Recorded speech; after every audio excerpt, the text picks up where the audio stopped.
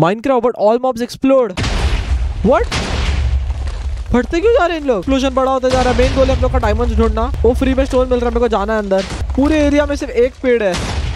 You can't take items what at least diamond दिख तो जाए।